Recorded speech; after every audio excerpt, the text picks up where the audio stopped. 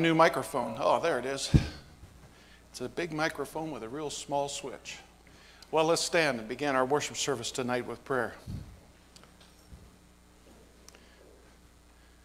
Father, it's with gratitude that we come before your presence tonight because of the blessing of this morning's service, the lives that were touched, and the message of the gospel that went out. Oh God, we're praying that you'll help us see more people swept into the kingdom.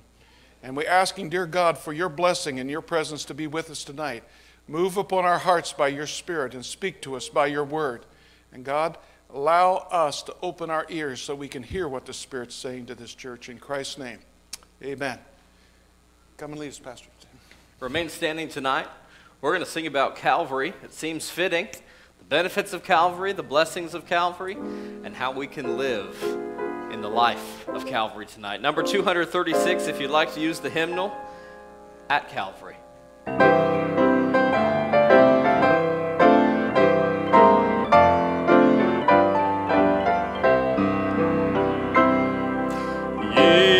I spent in vanity and pride, caring not my Lord was crucified, knowing not it was for me he died on Calvary. Mercy there was great and grace was free, pardon there was multiplied to me. There my burdened soul found liberty at Calvary. By God's word at last my sin I learned. Then I trembled at the law I'd spurned, till my guilty soul imploring turned to Calvary. Oh, his mercy there was great and grace was free. Pardon there was multiplied to me, and there my burdened soul found liberty at Calvary.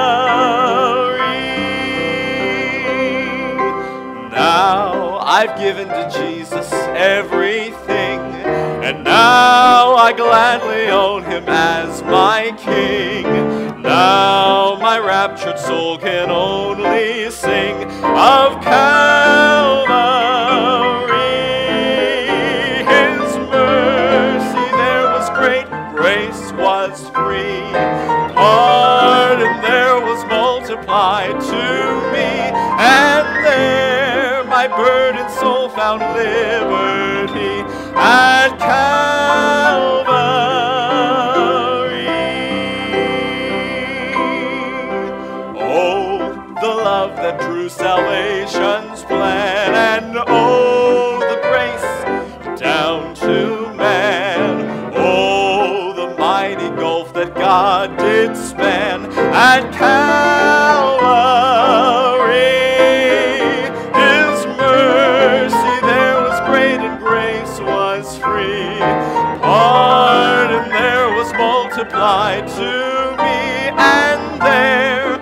Burdened soul found liberty at Calvary.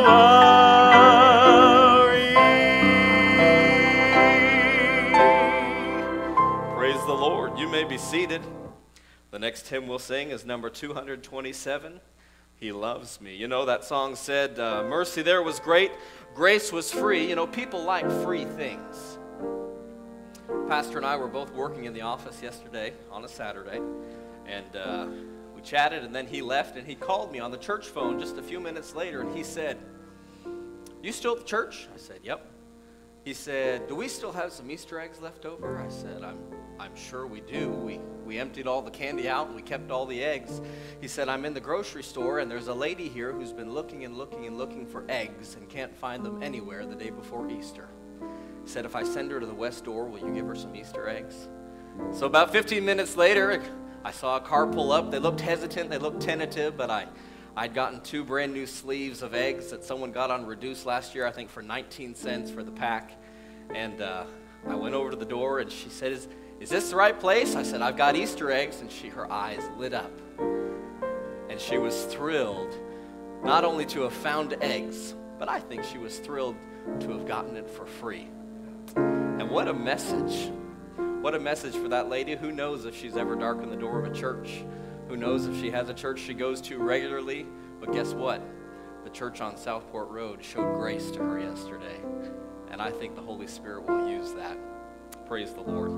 Number 227, let's sing it tonight. Alas, and did my Savior bleed, and did my sovereign die?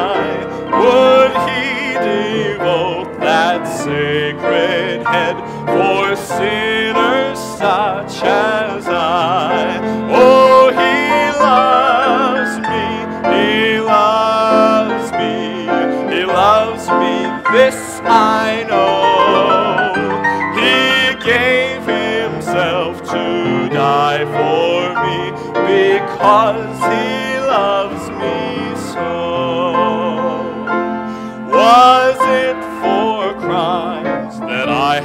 that he groaned upon the tree?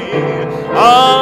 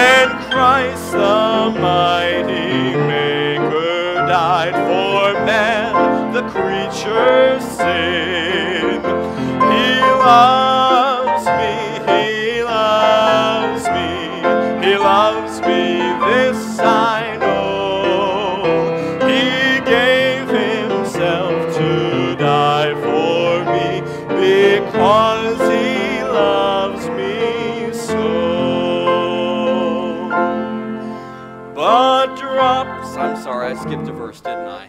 Is this verse 4? Thus might I hide. All right, let's sing it. I don't have a back screen, I'm sorry. Thus might I hide my blushing face while Calvary's cross appears.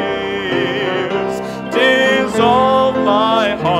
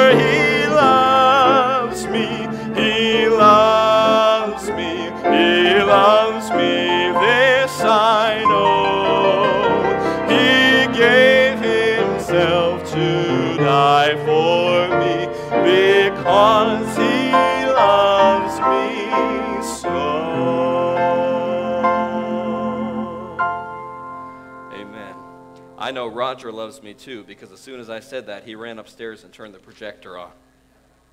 Thank the Lord for that. We got a few more songs to sing. After we sing this hymn, it's number 221 Calvary Covers It All. I'm going to ask Brother Romans if he would come after this hymn, and we're going to have prayer together tonight. Let's sing 221 Calvary Covers It All.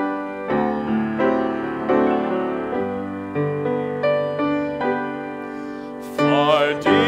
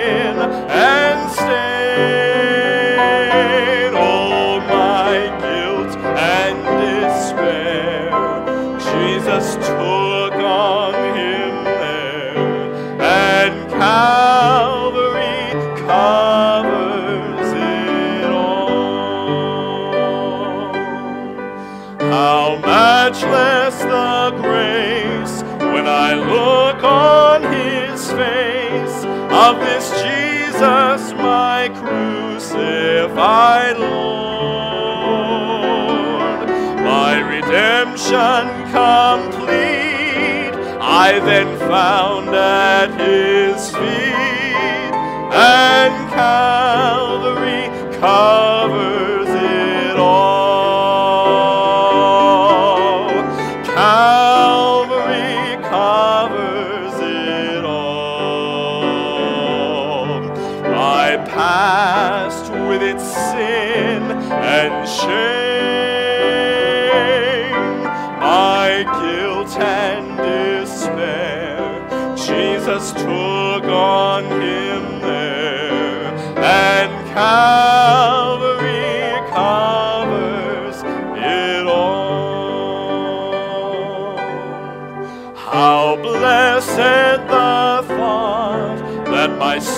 by him bought shall be his in the glory on high, where the gladness and song I'll be one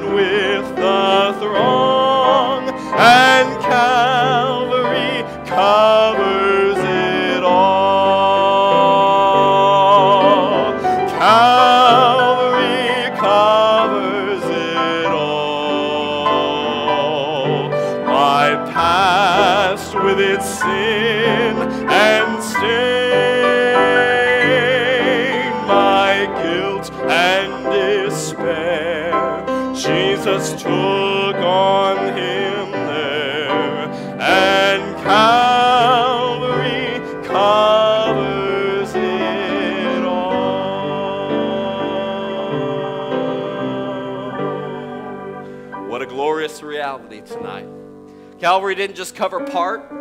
Calvary wasn't just eligible for a few things if you checked the boxes right. But Calvary covered it all. And the beautiful thought tonight is that it's available for any who will choose to come, even today. Bless his name. Let's stand for prayer. Brother Calvin, come, lead us.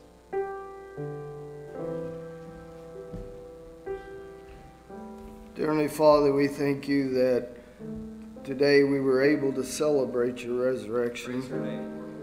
Dear Lord, I'm thankful that one day when I was on the road headed the wrong way, that you were graceful and saved me, dear Lord. And I'm thankful that you've been there every time that I've messed up. And dear Lord, you've been willing to forgive me. Dear Lord, we thank you for the service tonight. We pray, dear Lord, that you'll continue to bless us and bless the music and the preaching tonight, dear Lord, and speak to our hearts. And I pray, dear Lord, that you'll be with us through this week. In your name we pray. Amen. Thank you, brother. For our final hymn tonight, let's sing number 439. It says, Burdens are lifted at Calvary. Not only was the blood that flowed from Calvary efficacious for sin, but Calvary stands and serves today as a place where we can go and lift our burdens to the Lord. Matthew, do you have a testimony tonight? Okay, all right. Let's sing 439 together.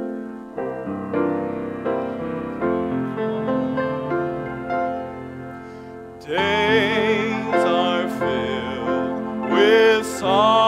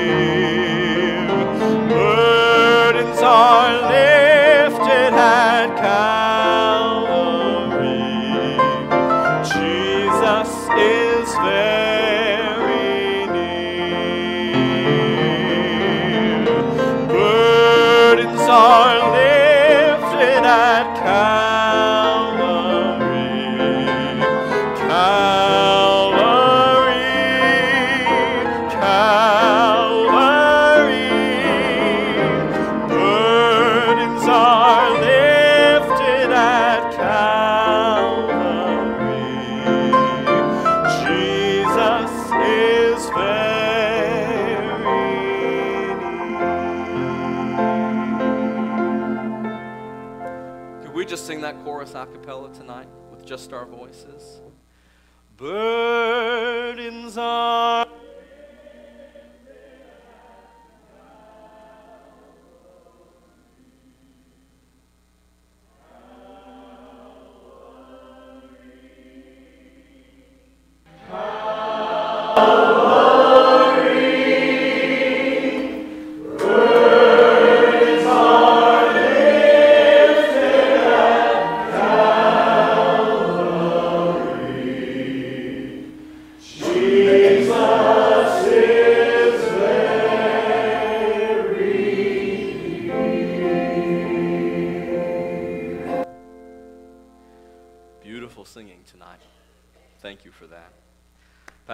coming at this time. He's going to break open the Word of Life.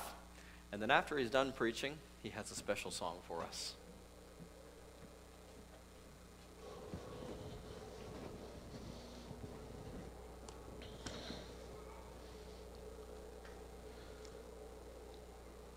Isn't it nice to have the sweet spirit that's here tonight? So we were singing that final a cappella chorus, and even before, there's a sweet presence. And I am rejoicing in my soul today. Wonderful weekend that we have had here together at the church. Friday night, Good Friday service, and Saturday with so many out in the parking lot, getting introduced to many of our neighbors around, and, and uh, I felt like God's anointing has been on this place and our people, and, and His presence is again with us tonight. Thank the Lord. Let me ask you a question. Have you ever met someone, maybe here at church or somewhere, and uh, you introduced yourself? Hi, I'm Mike. And they introduced themselves back to you. And then later down the road, you've known them for a while,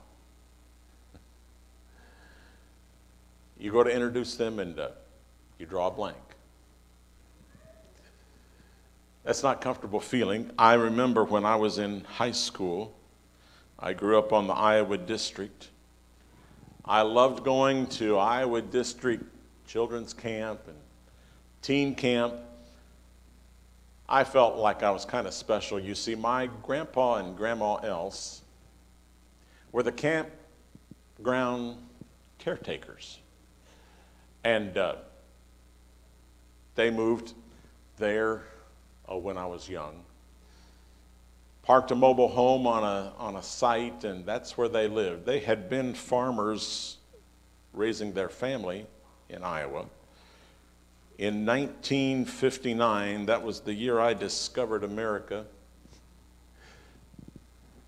Dr. Gene E. Phillips was the Iowa District Superintendent, and he came to my grandfather and he said, Clarence, I'd like you to consider being a general contractor and help me to build home mission churches across this district. We'll use basically the same floor plan. And so Grandpa became a, an employee of the Iowa district and he started building churches. And later from that, he moved into campgrounds caretaker. And I felt like Iowa District Nazarene Campgrounds was like home almost. I felt kind of privileged. Out of all the teenagers on the district, yeah, Grandpa and Grandma lived there. I get to go there anytime I want. and it was fun. We'd have family reunions. I mean, you have a, I don't know, 80 to 100 acres, and, and uh, Else family could show up. Well, we had a good time. And I I liked going there, and there was some benefits to Grandpa and Grandma living there, um, whether it's teen camp or children's camp. And there was five.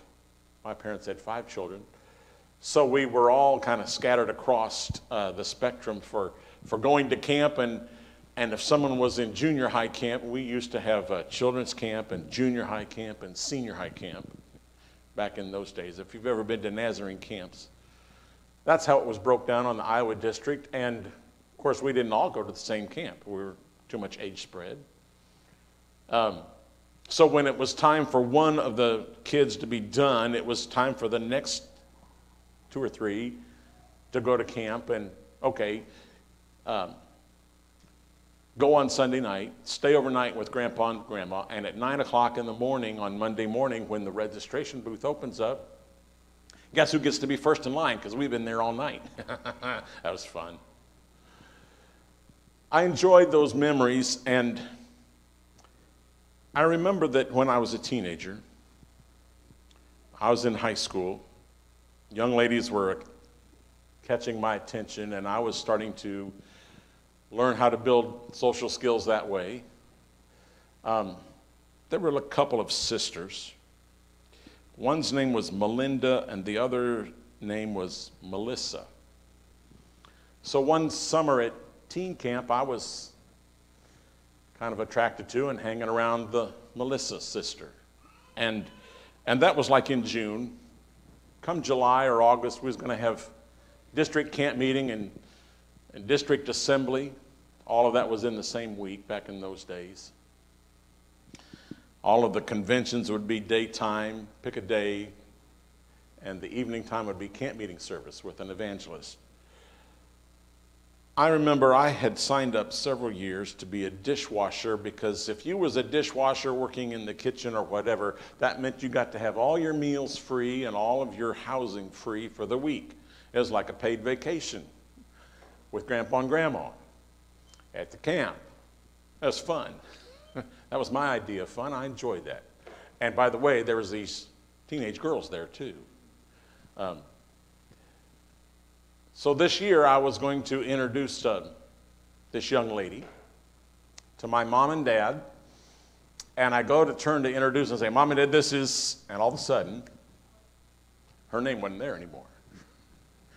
And I felt embarrassed and I felt stammering and uh, well, you can imagine. I finally recovered and her name came back, but for a few moments I was just like panic stricken. I couldn't remember this girl's name, and I'm trying to introduce her. Well, we see some similarities in the Easter story. I remember a lot of things growing up, but the Easter story is loaded with examples of identity mishaps, as I'll call them politely. The pastor started in on this in his message this morning, and I thought, Pastor, if you preach much more of this, you're going to steal my sermon right off from underneath me, but he, he didn't. If you'll turn in your Bibles with me, I'm going to share several different scriptures and just work with me for a few minutes. John chapter 20 is where we're going to start. Let's go to verse 11, and then we're going to skip some and jump down a minute. But if you go to John chapter 20, verse 11, but Mary stood outside the tomb crying. As she wept, she bent over to look into the tomb and saw two angels in white seated where Jesus' body had been, one at the head and the other at the foot. They asked her, Woman, why are you crying? They have taken my Lord away, she said, and I don't know where they have put him. At this, she turned around and saw Jesus standing there, but she did not realize that it was Jesus. Woman, he said, why are you crying? Who is it you are looking for? Thinking he was the gardener, she said, Sir, if you have carried him away, tell me where you have put him, and I will get him. Jesus said to her, Mary. She turned toward him and cried out in Aramaic, Rabbon, Rabboni, which means teacher. Jump with me, if you would, down to verse 19.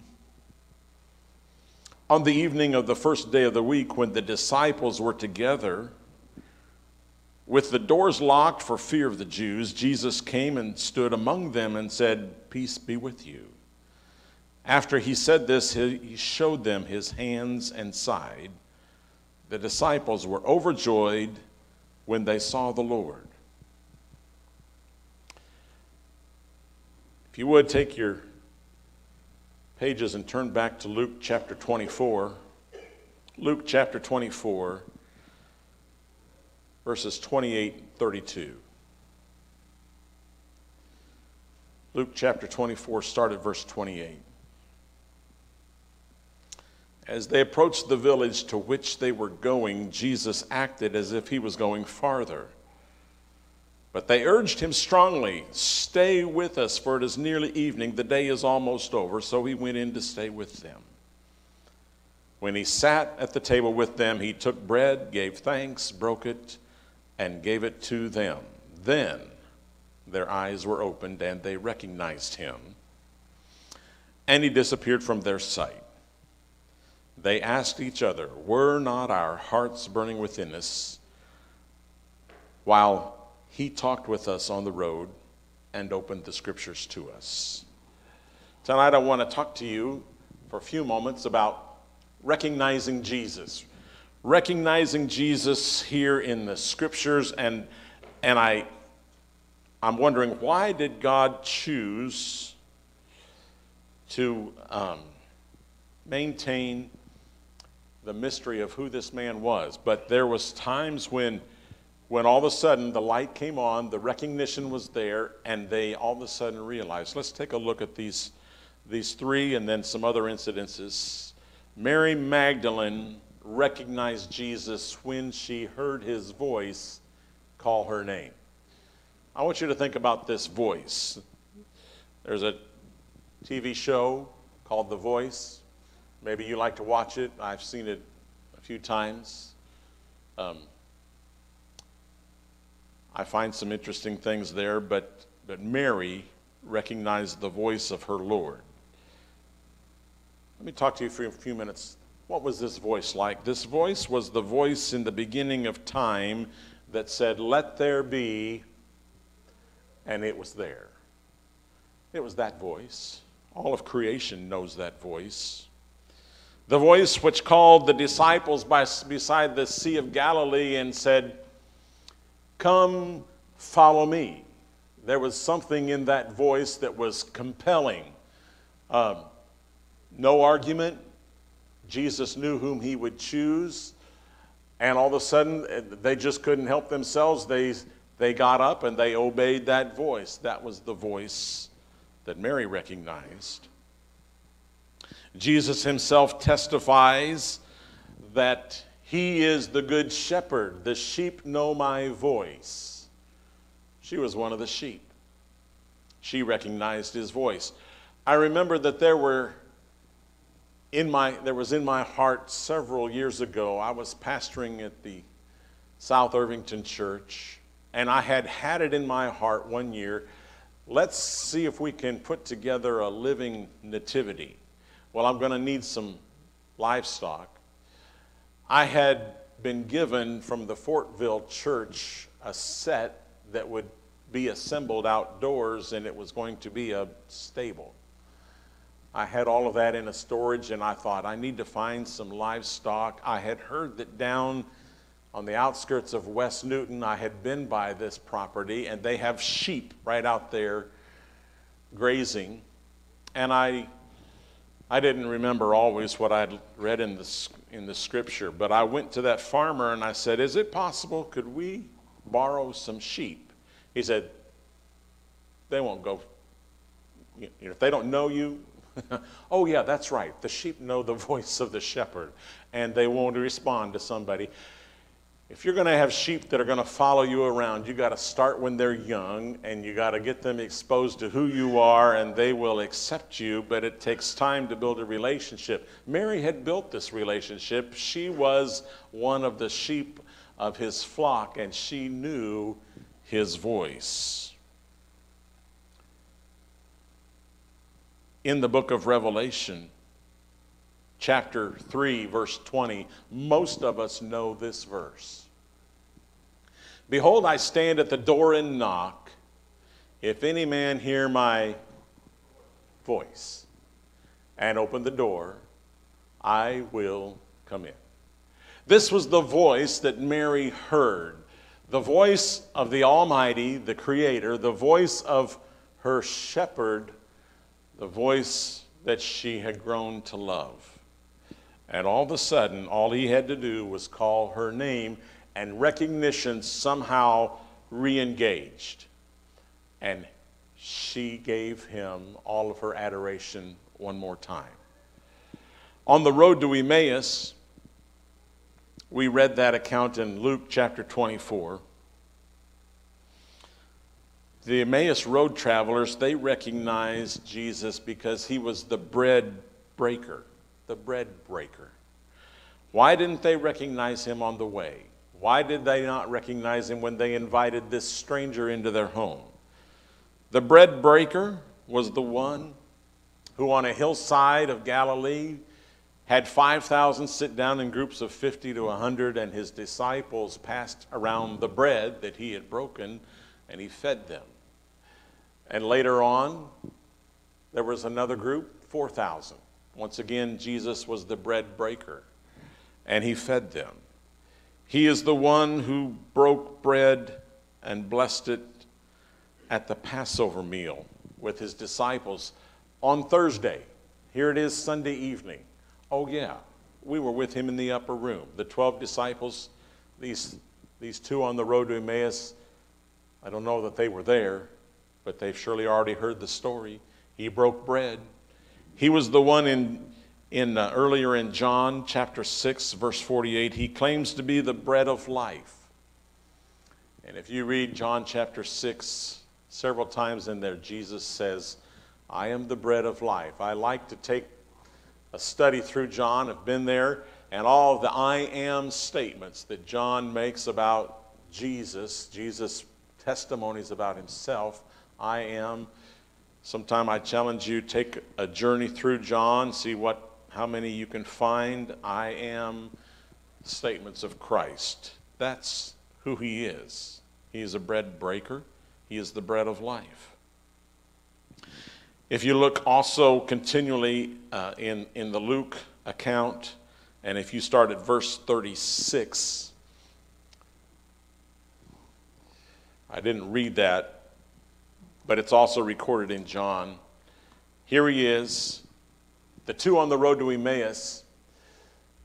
They have ran seven miles back to Jerusalem.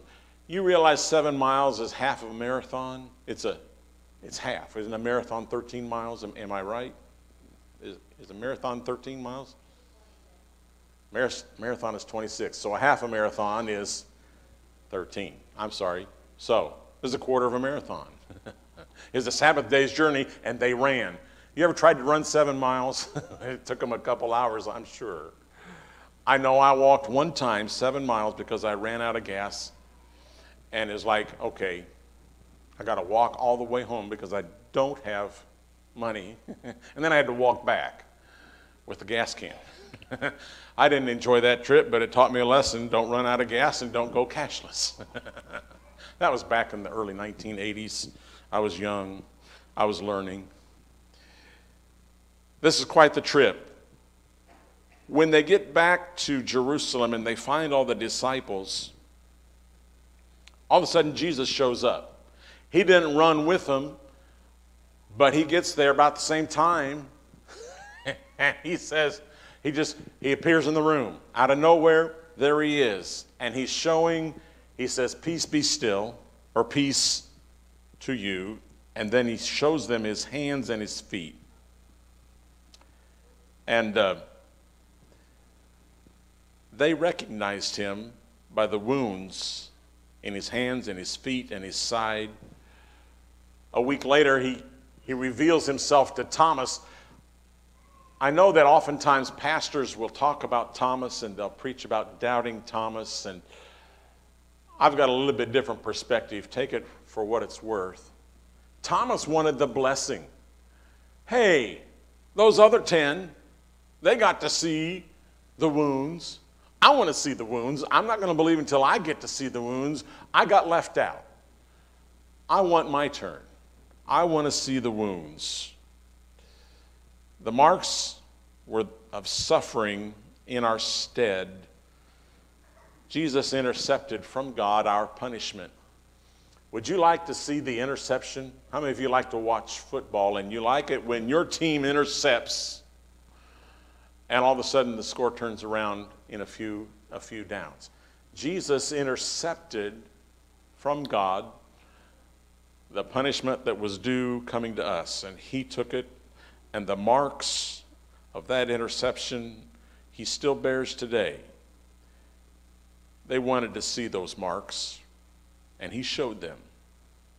The marks represent the brutality and the shame of evil which he redeems us from. Those scars are representation of the shame and the evil that he redeems us from.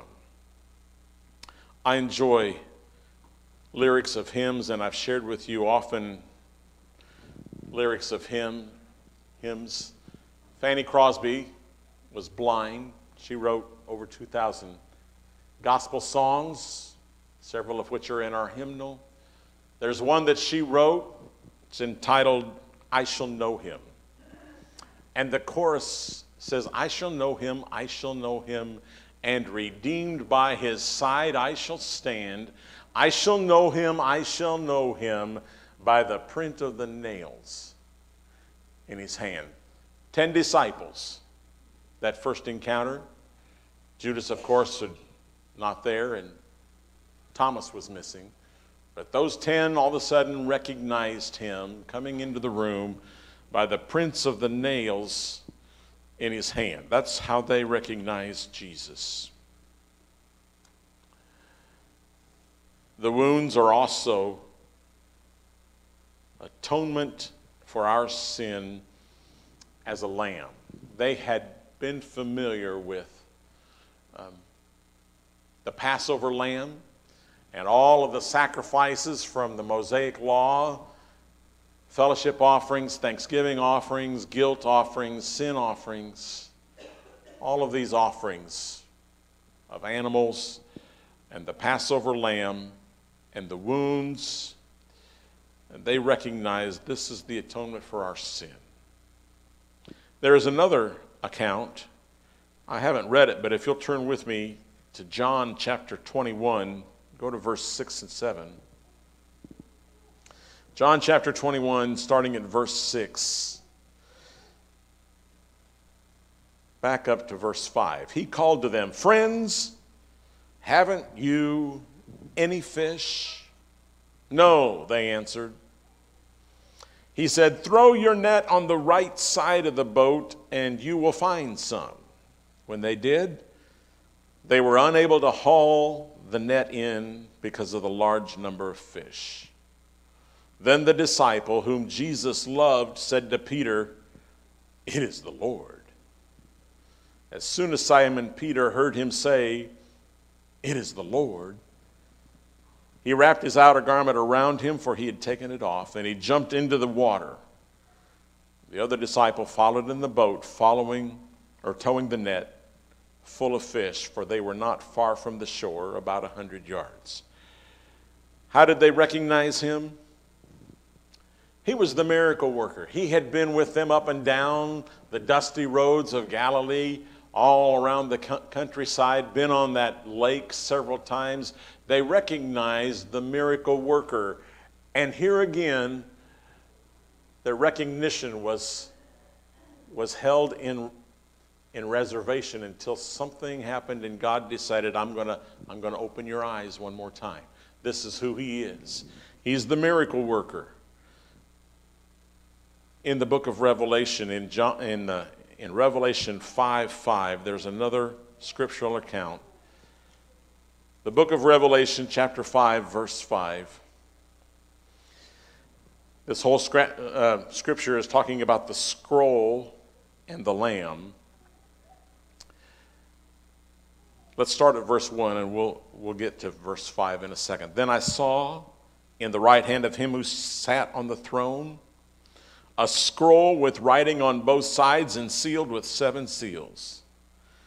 And I saw a mighty angel proclaiming in a loud voice, Who is worthy to break the seals and open the scroll? But no one in heaven or on earth or under the earth could open the scroll or even look inside it. I wept and wept because no one was found who was worthy to open the scroll and look inside. Then one of the elders said to me, Do not weep. See the lion of the tribe of Judah, the root of David. Stop right there. See the lion of the tribe of Judah, the root of David. When I read the word see, I think about vision. But John, when he turns, the lion of Judah, the root of David has triumph. He is able to open the scroll and its seven seals. Verse 6 Then I saw a lamb. I was expecting a lion. See the lion of the tribe of Judah? But he doesn't look like a lion, he looks like a lamb. Looking as if it had been slain, standing in the center of the throne, circled, encircled by the four living creatures and the elders. And this is what it looks like. He's a lamb that has seven horns, seven eyes, which are the seven spirits of God sent out into all the earth.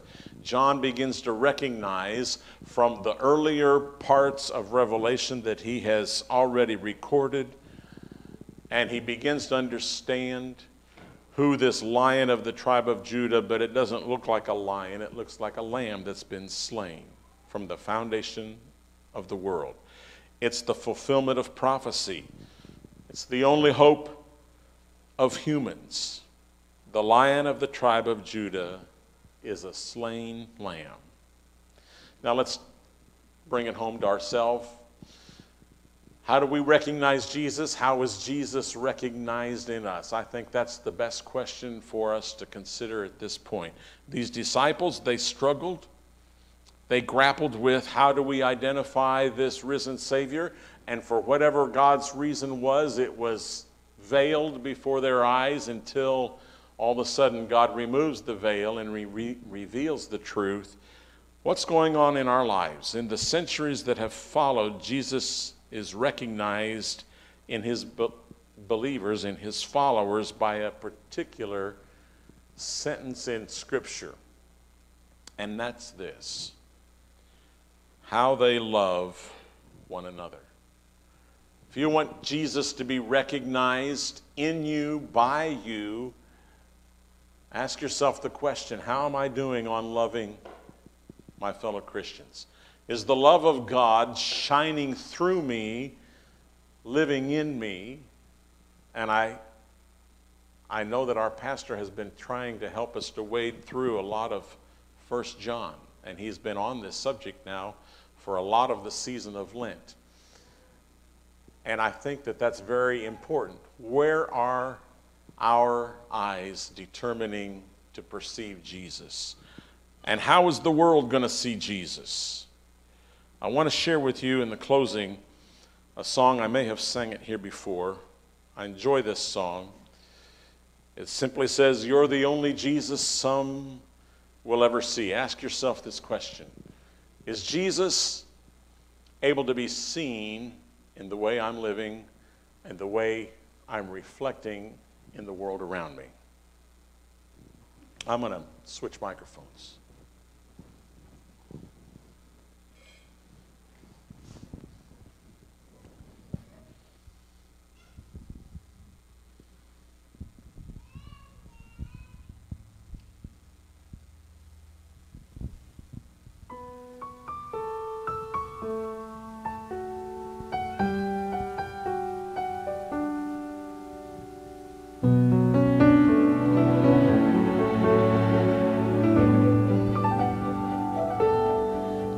Not in you, I wonder where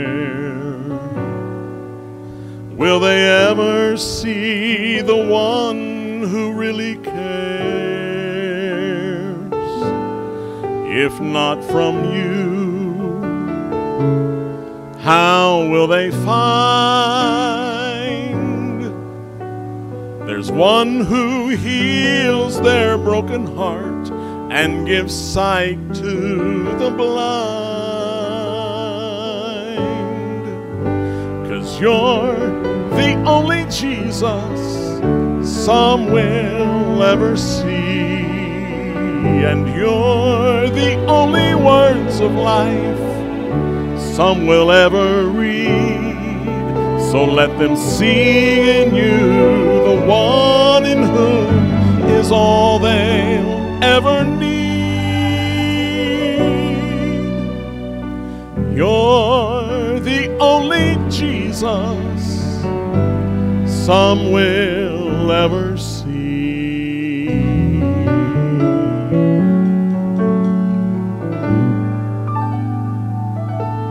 And if not wonder who will show them love, and love alone can make things new. If not from you, how will they find? There's one who trade their hopelessness for joy in return.